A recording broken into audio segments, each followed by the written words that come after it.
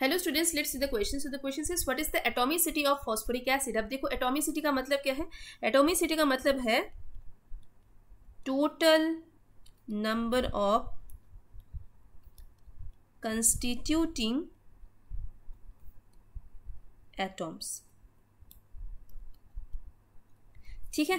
तो चलो यहाँ पे हम फॉस्फोरिक एसिड का जो फॉर्मूला है, उसको पहले लिख लेते हैं। फॉस्फोरिक एसिड का फॉर्मूला है H three P O four तो यहाँ पे थ्री हाइड्रोजेंस है, ओके? एक फॉस्फरस है, फोर ऑक्सीजन है।